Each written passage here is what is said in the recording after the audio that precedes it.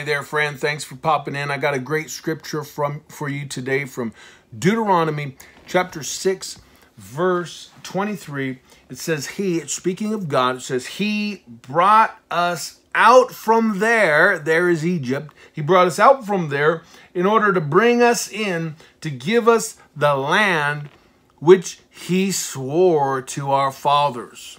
All right, listen, He brings us out in order to bring us in. Into what? Into the promised land that God has in store for us. Friend, your greatest destiny is still ahead of you, but you need to know God brings us out in order to bring us in, which means you can't always hold on to this branch and grab the next one. God says, no, you're going to let go of that, and then I'll release you into the new. And that leaves us in a place of uh, trust. We have to trust him. We've got to know that he's with us, he's for us, like Abraham. When God, Hebrews 11 8, uh, by faith, Abraham, when called to go to a place that would later become his inheritance, he obeyed and went, even though he didn't know where he was going.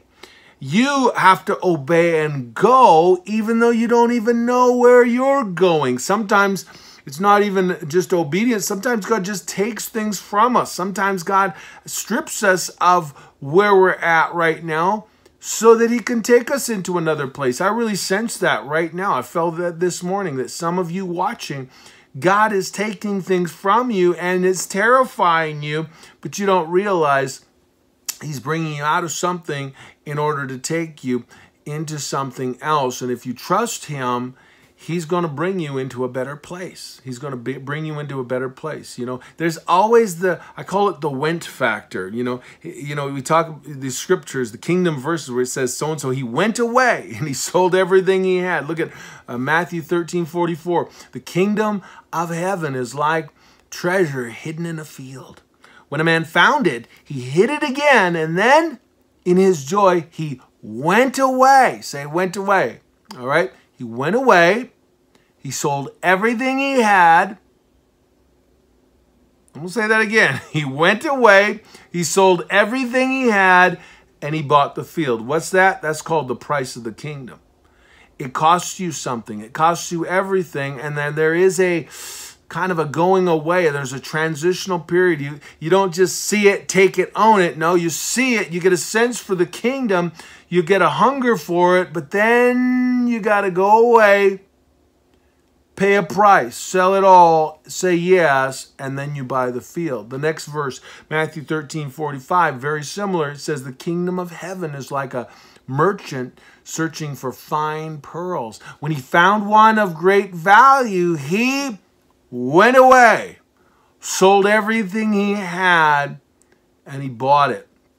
Some of you have seen, you've got a sense of the kingdom, you've got a glimpse of it but you're still in that going away stage where you're going away, you're selling all, you're paying the price, you're you're you're counting the cost, and uh, quite frankly, the cost is high. And you said to the Lord, Lord, whatever it takes, give me the kingdom. And now suddenly you're finding that um, you've lost your job, and you're going, wait a minute. Uh, that's not what I meant. You know, suddenly uh, he's stripping you of things that you didn't want to be stripped of. He's asking you to give up things that you didn't want to give up. And you're going, whoa, whoa, whoa, whoa, whoa. And God's saying, well, I thought you said whatever the cost, give me the kingdom. Well, friend, it costs everything.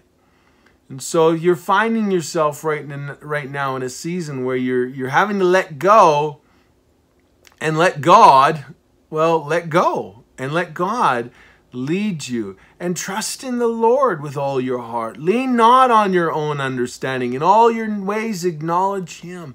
He'll direct your path. He, like, like he did with Abraham, like he did with all of his great, uh, all of his great leaders throughout history.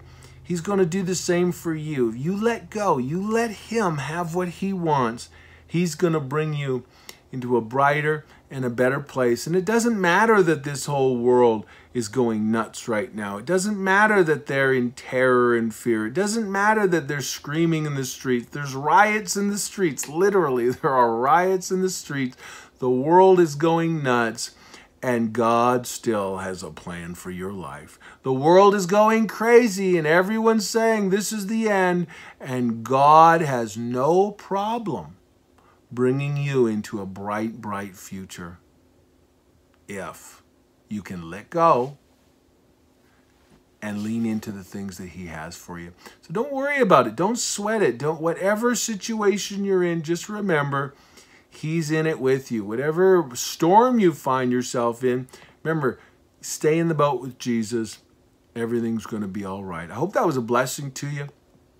Like it, share it, and take some time today to meditate on Deuteronomy 6:23. There's your 623 if you're watching this today on uh, June 23rd. God bless you. We'll see you soon.